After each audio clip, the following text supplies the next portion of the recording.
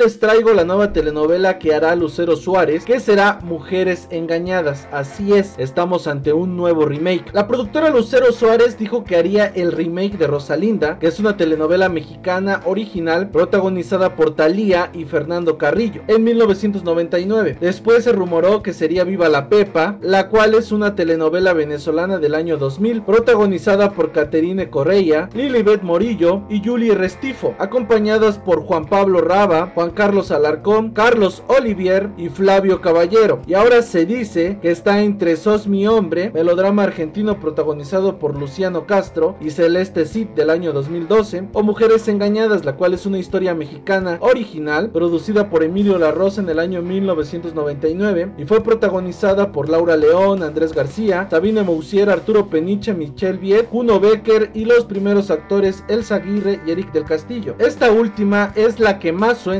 para que realice el remake y las candidatas al protagónico femenino son Lucero, Marlene Favela, Blanca Soto y Yadira Carrillo. Estas dos últimas son las favoritas para este papel. En el rol masculino se habla de César Évora, Francisco Gatorno y Fernando Colunga. Este melodrama narra la historia de cuatro parejas que viven en un mismo edificio, dentro del cual la mentira, la infidelidad serán los principales problemas de la relación y familia que enfrenten los involucrados. La primera pareja protagónica está conformada por Yolanda y Javier Duarte. Ella es una mujer de origen humilde que se casó con Javier, un hombre rico con el que tiene dos hijas adolescentes, Jessica y María Rosa. La segunda está compuesta por Diana y Alejandro Lizárraga. Diana es una mujer vanidosa y egocéntrica, obsesionada por encontrar el secreto de la eterna juventud. Él, en cambio, es un hombre decente y honesto, hasta sueña con tener un hijo. Los personajes juveniles son Paola y César, quien Paola es muy joven, religiosa y vive en Veracruz, mientras que su amado es un muchacho atractivo